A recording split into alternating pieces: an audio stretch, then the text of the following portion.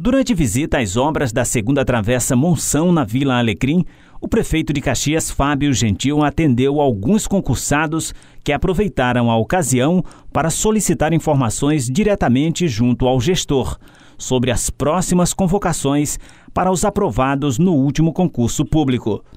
Durante a conversa, o prefeito escutou atentamente a todos e reafirmou o que já havia dito no programa Café com o Prefeito de que nesta quarta-feira, dia 22 de janeiro, haverá a posse de concursados e que logo após haverá a divulgação de uma nova convocação que será feita pela pasta da educação.